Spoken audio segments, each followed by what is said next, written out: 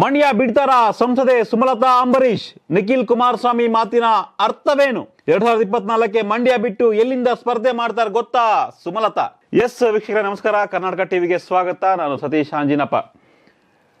ಸುಮಲತಾ ಅಂಬರೀಶ್ ಮಂಡ್ಯಗೆ goodbye ಹೇಳ್ತಾ ಇದ್ದೀರಾ? ಮಂಡ್ಯಗೆ ಬಾಯ್ ಬಾಯ್ ಹೇಳ್ತಾ ಇದ್ದೀರಾ? ಟಾಟಾ ಮಾಡ್ತಾ ಇದ್ದೀರಾ ಸುಮಲತಾ ಅಂಬರೀಶ್ ಈ ಬಗ್ಗೆ ಸಾಕಷ್ಟು ದಿನಗಳಿಂದ ಚರ್ಚೆ ಆಗ್ತಾ ಇತ್ತು.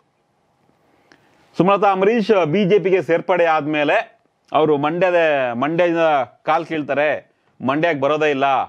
ಮಂಡ್ಯದಿಂದ ಅವರು ಬೆಂಗಳೂರಿಗೆ ಪ್ರಮೋಷನ್ ತಗೊಂಡು ಹೋಗ್ತಾರೆ.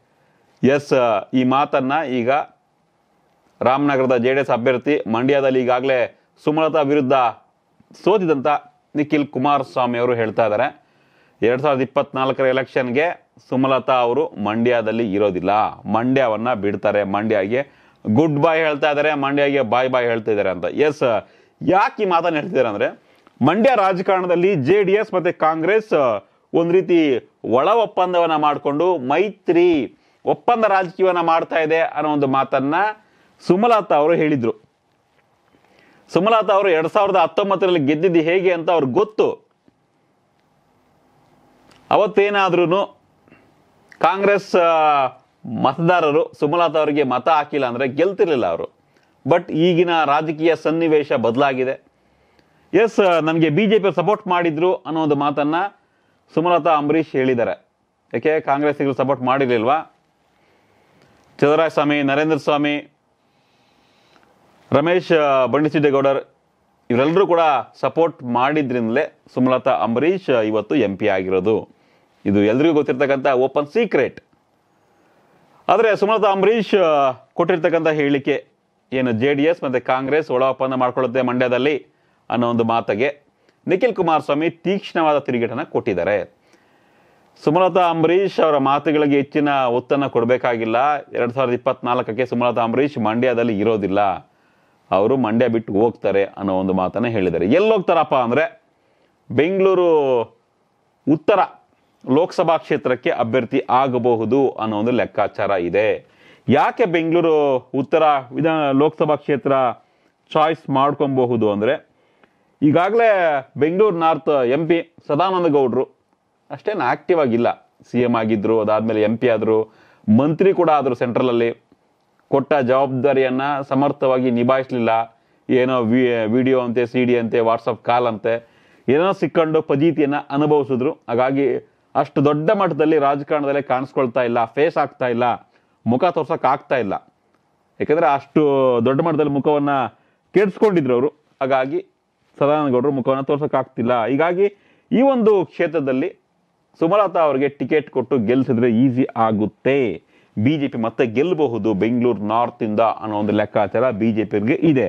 ಹೀಗಾಗಿ ಬಿ ಜೆ ಪಿಗೆ ಸೇರಿಸ್ಕೊಂಡು ಸುಮಲತಾ ಅವರನ್ನ ಅವ್ರಿಗೆ ಬಿ ಜೆ ಪಿಯಿಂದ ಟಿಕೆಟ್ ಕೊಟ್ಟರೆ ಚೆನ್ನಾಗಿರುತ್ತೆ ಅನ್ನೋ ಒಂದು ಲೆಕ್ಕಾಚಾರ ಬಿ ಜೆ ಪಿ ವಲಯದಲ್ಲಿ ಇದೆ. ಹೀಗಾಗಿನೇ ನಿಖಿಲ್ ಕುಮಾರಸ್ವಾಮಿ ಅವರು ಸುಮಲತಾ ಮೇಡಮ್ ಅವರು ಮಂಡ್ಯದಲ್ಲಿ ಇರಲ್ಲ ಅನ್ನೋ ಒಂದು ಮಾತನ್ನ ಹೇಳಿದ್ದಾರೆ. ಸೊ ಯಾಕೆ ಏನಾಯ್ತು? ಇವೆಲ್ಲವನ್ನ ನಾವು ನೋಡಿದಾಗ ಇದಕ್ಕೆ ತಕ್ಕಂಗೆ ಕೆ ಆರ್ ಪುರಂ ಕಾನ್ಸ್ಟೆನ್ಸಿ ಆಗಿರ್ಬೋದು, ಮಲ್ಲೇಶ್ವರಂ ಆಗಿರ್ಬೋದು, ಯಶವಂತಪುರ, ಹೆಬ್ಬಾಳ, ದಾಸರಳ್ಳಿ ಮತ್ತೆ ಈ ಒಂದು ಎಲ್ಲ ಕ್ಷೇತ್ರಗಳು ಕೂಡ ಈ ಒಂದು ನಾರ್ತ್ಗೆ ಬರುತ್ತೆ. ಹಾಗಾಗಿ ಇಲ್ಲಿ ಸ್ವಲ್ಪ ಕೆಲವೊಂದು ಕ್ಷೇತ್ರದಲ್ಲಿ ಒಕ್ಕಲಿಗ ಮಾತುಗಳು ಕೂಡ ಡಾಮಿನೇಟ್ ಆಗಿರೋದ್ರಿಂದ, ನಿರ್ಣಾಯಕ ಆಗಿರೋದ್ರಿಂದ ಈಸಿ ಆಗಬಹುದು. ಸದಾನಂದ ಗೌಡ್ರನ್ನ ಬೆಂಗಳೂರು ನಾರ್ತ್ಗೆ ಹಾಕಿದ್ದೆ ಆ ಕಾರಣಕ್ಕಾಗಿನೇ. ಸೊ ಅವ್ರ ವಿರುದ್ಧ ಕೃಷ್ಣ ಬೈರೇಗೌಡ ನಿಂತು ಸೋತಿದ್ರು ಎರಡು ಸಾವಿರದ ಹತ್ತೊಂಬತ್ತರಲ್ಲಿ. ಈಗ ಆ ಒಂದು ಕ್ಷೇತ್ರಕ್ಕೆ ಬೆಂಗಳೂರು ಉತ್ತರ ಲೋಕಸಭಾ ಕ್ಷೇತ್ರಕ್ಕೆ ಸುಮಲತಾ ಅಂಬರೀಷ್ ಅವರನ್ನು ಅಭ್ಯರ್ಥಿಯನ್ನಾಗಿ ಮಾಡೋದಕ್ಕೆ ತಯಾರಿಯನ್ನು ಮಾಡಿಕೊಂಡಿದೆ ಬಿ ಜೆ ಪಿ ಅನ್ನೋ ಒಂದು ಮಾಹಿತಿ ಬರ್ತಾ ಇದೆ. ಹಾಗಿದ್ರೆ ಸುಮಲತಾ ಅಂಬರೀಷ್ ಮಂಡ್ಯಗೆ ಗುಡ್ ಬೈ ಹೇಳ್ತಾರಾ? ಈಗಿರ್ತಕ್ಕಂಥ ಯಕ್ಷ ಪ್ರಶ್ನೆ ಸಾಕಷ್ಟು ಬಾರಿ ಹೇಳಿದ್ದಾರೆ, ಇದಕ್ಕೆ ಆನ್ಸರ್ ಕೊಟ್ಟಿದ್ದಾರೆ, ಉತ್ತರ ಕೊಟ್ಟಿದ್ದಾರೆ. ಸುಮಲತಾ ಅವರು, ಯಾವುದೇ ಕಾರಣಕ್ಕೂ ಮಂಡ್ಯಗೆ ನಾನು ಗುಡ್ ಬೈ ಹೇಳೋದಿಲ್ಲ. ಮಂಡ್ಯ ಬಿಟ್ಟು ಬೇರೆ ಎಲ್ಲೂ ರಾಜಕಾರಣ ಮಾಡೋದಿಲ್ಲ ಅನ್ನೋ ಒಂದು ಮಾತನ್ನು ಹೇಳಿದ್ದಾರೆ. ಆದರೆ ಎರಡು ಸಾವಿರದ ಹತ್ತೊಂಬತ್ತರ ಲೋಕಸಭಾ ಚುನಾವಣೆಯ ಒಂದು ಸ್ಥಿತಿಗತಿಗಳು ಸನ್ನಿವೇಶಗಳು, ಪರಿಸ್ಥಿತಿ ಈಗ ಇಲ್ಲ. ಆಗಿನ ಸನ್ನಿವೇಶವೇ ಬೇರೆ, ಈಗಿನ ಸನ್ನಿವೇಶವೇ ಬೇರೆ. ಅಥವಾ ಎರಡು ಸಾವಿರದ ಇಪ್ಪತ್ನಾಲ್ಕಕ್ಕೆ ಸನ್ನಿವೇಶ ಮತ್ತಷ್ಟು ಬದಲಾಗಬಹುದು. ಸುಮಲತಾ ಅವರಿಗೆ ಫೇವರ್ ಆಗದೆ ಇರಬಹುದು. ಈ ಕಾರಣಕ್ಕಾಗಿ ಬದಲಾದ ಸನ್ನಿವೇಶದಲ್ಲಿ ಅವರು ಬದಲಾದ ಪಾರ್ಟಿಯನ್ನು ಜಾಯ್ನ್ ಆಗಿ ಬಿ ಜೆ ಪಿಗೆ ಜಾಯ್ನ್ ಆದಮೇಲೆ ಕ್ಷೇತ್ರ ಬದಲಾವಣೆ ಆಗಬಹುದು ಅನ್ನೋ ಒಂದು ಲೆಕ್ಕಾಚಾರ ಇದೆ. ನೋಡೋಣ ನಿಮ್ಮ ಪ್ರಕಾರ ಸುಮಲತಾ ಮೇಡಮ್ ಅವರು ಮಂಡ್ಯಗೆ ಗುಡ್ ಬೈ ಹೇಳಿ ಬೆಂಗಳೂರು ನಾರ್ತ್ಗೆ ಬರ್ತಾರಾ? ನಿಮ್ಮ ಅಭಿಪ್ರಾಯವನ್ನು ಕಮೆಂಟ್ ಮಾಡಿ ತಿಳಿಸಿ. ವಿಡಿಯೋ ಇಷ್ಟ ಆದರೆ ಲೈಕ್ ಮಾಡಿ ಶೇರ್ ಮಾಡಿ. ಕರ್ನಾಟಕ ಟಿವಿಯನ್ನು ಇನ್ನೂ ಸಬ್ಸ್ಕ್ರೈಬ್ ಆಗಿಲ್ಲ ಆದರೆ ಈ ಕೂಡಲೇ ಸಬ್ಸ್ಕ್ರೈಬ್ ಮಾಡ್ಕೊಳ್ಳಿ. Thank you